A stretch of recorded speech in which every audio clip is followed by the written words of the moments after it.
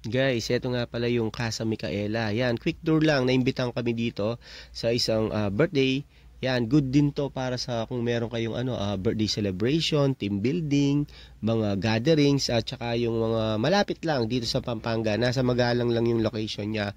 I-Google Maps nyo na lang para madaling makita.